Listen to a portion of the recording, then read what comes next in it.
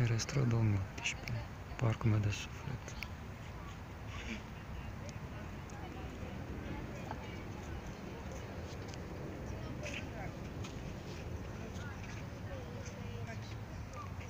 Thank you.